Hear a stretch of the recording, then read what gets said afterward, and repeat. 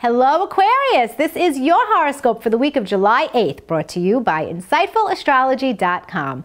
Aquarius, this week Mercury is turning retrograde and it happens in your relationship sector. Oh boy, take a deep breath, Aquarius, because on Saturday until August 8th, you and your partner are going to go back and talk.